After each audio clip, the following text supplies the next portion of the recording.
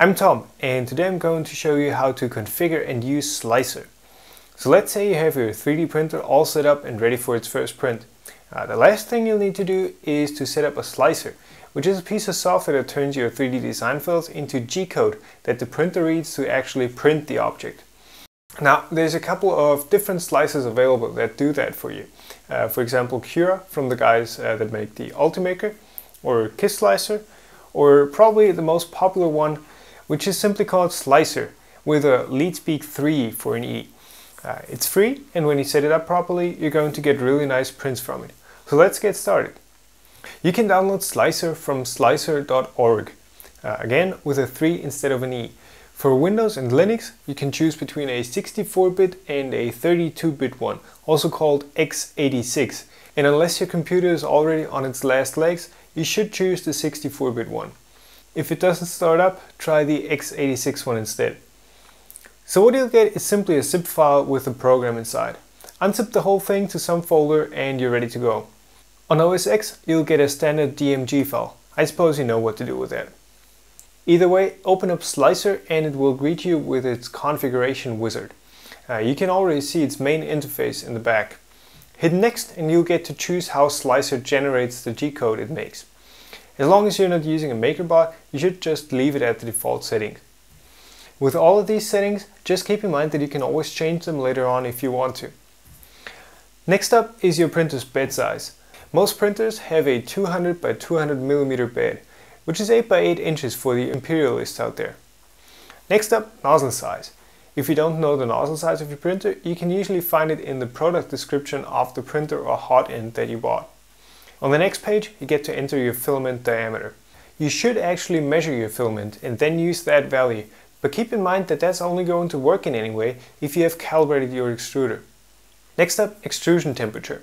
It's unlikely that the first temperature you try will be the perfect one, but PLA will usually print just fine at 210 degrees Celsius, ABS at 240. Just start with one and increase it if the layers of your print don't stick together well and decrease it if your prints end up all molten and soggy. Next up, bed temperature. 60 for PLA pretty much always works, but ABS might need a bump to 120 degrees Celsius. If your prints don't stick, double check that your print bed is clean and has a surface that is actually useful for the filament type you're printing. And that's it, the wizard is done. There are a couple more settings that you can tweak before having your part sliced. Uh, you'll find those in the settings tabs up here. Um, the first one is print settings. Let's just go through the options you can change here. Uh, the first one is the layer height. The lower you set that one, the finer your layers are going to come out. Good values are 0.2 to 0.3 millimeters.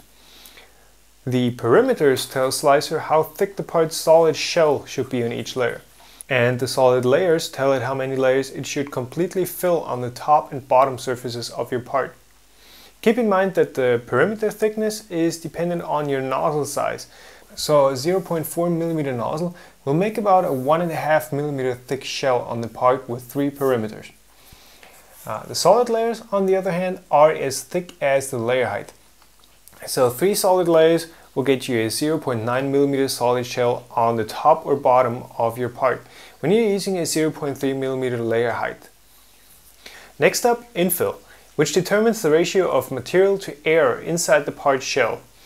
By default, Slic3r uses 0.4, which is 40% infill and already on the high side.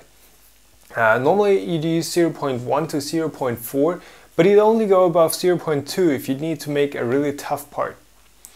The honeycomb style infill is theoretically very stiff and strong, but takes forever to print. Rectilinear is a bit more popular because it prints much faster and isn't that much weaker. Your call. Now the rest of the settings on this page are special case settings that you use for specific parts. Uh, especially brim is useful when your part wants to warp and peel off of the bed. Just set that to about 5mm and watch the magic happen. So in the next settings tabs you don't really have too many options. Uh, these are pre-filled with what we told the wizard earlier anyways. The interesting one here is the extrusion multiplier, which you can use to tweak the amount of plastic that your printer lays down. If your parts, especially the top surfaces, turn out overstuffed, you might need to decrease the multiplier. If they end up with holes, increase it. Uh, the last tab is the printer settings, again pre-filled with the values from the wizard. Now, one important setting here is the print center. If you're using a Delta style printer, you should set that to 0, 0. Uh, for pretty much any other printer, don't change them. The rest of the settings are good for any normal printer, so you can just simply leave them as they are. So that's it, Slic3r is 100% ready to slice. Head over to the Plater tab and simply drag and drop the parts you want to make onto the virtual build platform. Uh, you can drag the parts around to position them on your printer's bed, rotate them, or make them bigger or smaller by scaling them. When you're ready, hit Export G-code, save the file, and you're done.